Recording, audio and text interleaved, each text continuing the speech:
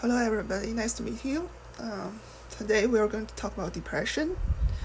Depression is something we don't talk about in family, in society, in, especially in church.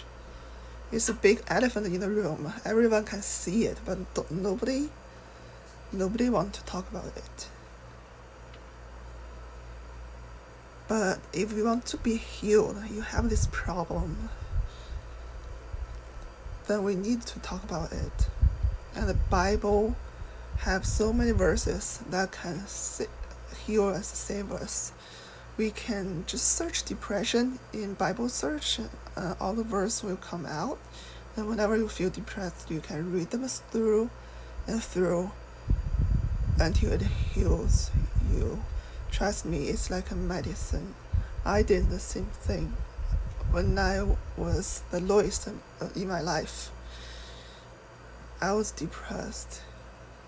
Um, to a degree, I want to commit suicide. But, and then I, I thought there must be something wrong with um with what I study because at that time I was a church member. I go to church. I sit. I. Uh, sing for church choir. Uh, I serve, I worship, I do everything Bible study. Give, give money, tie, but I still feel depressed because at that time my church is teaching being miserable equal to be to be spiritual and being poor is equal to being spiritual. So at that time, I want to commit suicide. And that is wrong. In the Bible, God loves us to be joyful. God loves to bless His own children. He loves to see our smiles. So being a Christian and being depressed cannot be equal. You can find it everywhere. God loves to bless us. Bodily, physically, mentally, uh, spiritually, solely, God wants us to be whole. He actually he added His um, Holy Spirit in us. How can Holy Spirit run through us, but we feel depressed. That, that does not make sense. Okay, so if you feel depressed, go to the scripture.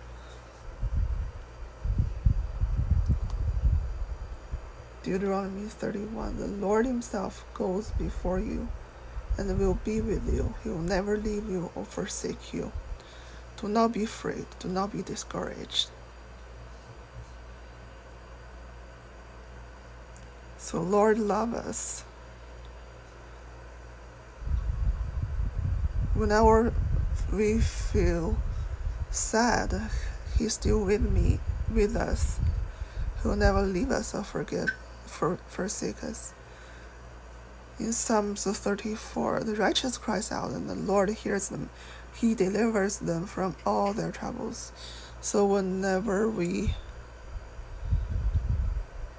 cry out, God is like a father hear his children cry out. He'll deliver us from all trouble. Sometimes, yeah, depressed, depressed thing happens. We can be depressed, but we cry out to the Lord, and He hears us. He delivers us from all the trouble.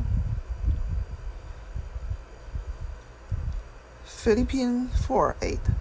Finally, brothers and sisters, whatever is, lo- is true, whatever is noble, whatever is right, whatever is pure, whatever is lovely, whatever is admirable, if anything is excellent or praiseworthy, think about such things.